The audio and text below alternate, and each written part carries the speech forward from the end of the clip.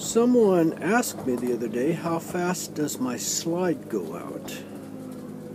This one goes out, well, there. That's how fast it goes out.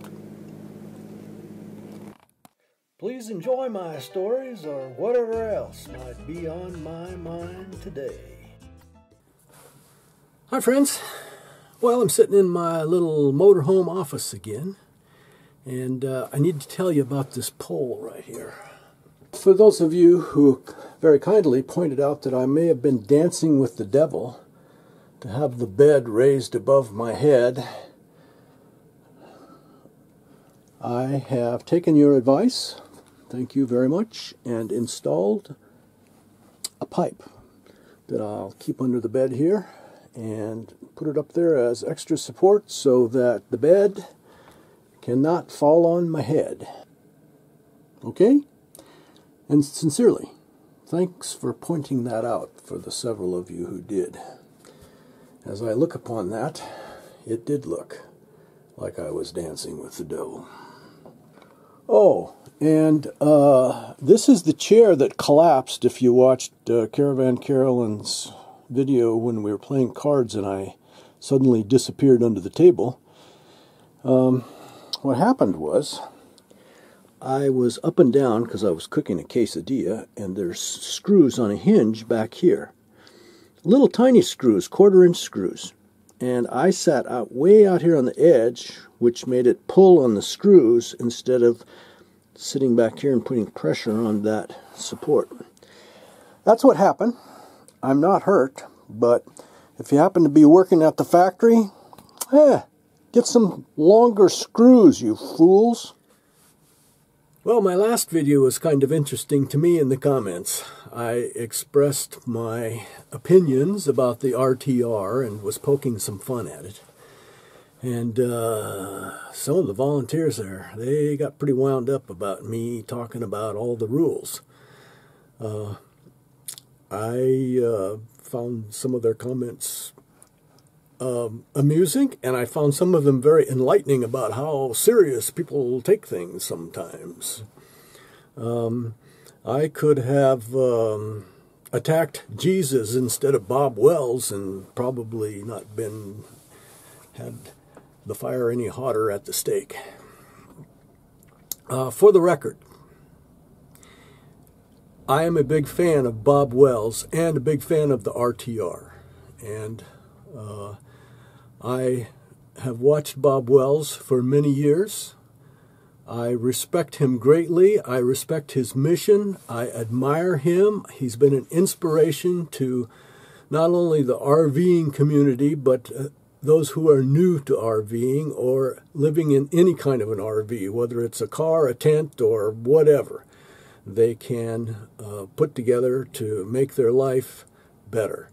And uh, nobody, absolutely no one in the YouTube community has been more responsive to that need than Bob Wells. So if I poked a little fun at Bob Wells in my last video and it offended you, please let me say this. Too bad, and I don't think that Bob Wells needs you to defend him or to define him. I've had the pleasure and the, privilege to associate with a number of very famous people, and I'm not talking about YouTube famous, I'm talking about famous out there in other parts of the world. And uh, it has been my experience that those who have the self confidence to handle fame as Bob Wells certainly does. Also, uh, don't mind having a little fun poked at him once in a while. Anyway, if I offended you, I'm sorry. Uh, I'm not sorry I did it. I'm sorry you were offended. uh, what's on the menu today? I think I'm going to answer a couple of questions that I've gotten in the last month about living and retiring in Mexico. Are there English language bookstores? Yes. In Guadalajara, there is an English language bookstore that specializes in books in English. And uh, locally in Ajijic, there is an English language library at the LCS, that's the Lake Chapala Society. And uh, if you don't know what the Lake Chapala Society is, you should Google it Lake Chapala Society. It's a uh, place in Ajijic that has an English language library, and it's a meeting place for a lot of different interest groups, and a lot of things go on there. Uh, you can Google LCS, Lake Chapala Society, and see. There are about 4,000, I might be behind the times in that estimate, uh, maybe 5,000 um, people who are members of the Lake Chapala Society, and uh, they do good works. Their main mission is, uh, originally was to uh, help and foster uh, young Mexican artists and they still do that. But it has become also um, kind of a community center for expats. So, anyway, check it out Lake Chapala Society. Um, about English language stuff, there's also um, there was a, a newsstand in Ajijic that sold magazines. I'm not sure it's still there. It was down by El Torito. If you happen to be local, it was down below the steps towards the back parking lot by El Torito. And um, it may not be there anymore. Newspapers and magazines are having a tough time in the world with the internet. You can get most magazines on the internet now, so I don't know if that's still there or not, but it was. Uh, talking about newspapers it reminds me of uh, my cousin went to Germany, and he went into a newsstand and he asked for a USA Today. And the guy said, Do you want today's or yesterday's? And uh, he said, Well, today's. And the guy said, Come back tomorrow. Uh, do they have yard sales and second-hand stores? Yes, they definitely do, and they have them quite regularly. You'll see signs around the neighborhood for uh, subasta is the name they use for a yard sale or a garage sale. And um, yes, they have secondhand stores. There are a couple of them, um, bazaars, they call them, in uh, Ahi. Carlos is, is one of them, and uh, Tom's. Uh, there's a couple of other secondhand kind of stores locally. My experience is that uh, the prices that they uh, put on those is uh, quite often equal to new. So it's not been my experience that it's a bargain store to go looking for used stuff, at least locally around Ajijic and Chapala, Mexico. It could be that you'll find something that you can't find somewhere else, and used is better than none but that's my experience. Do you need a Mexican driver's license? No, you don't need a Mexican driver's license. Um, you're quite legal to drive with your uh, United States or Canadian driver's license. Um, I have a Mexican driver's license. I also have a South Dakota driver's license.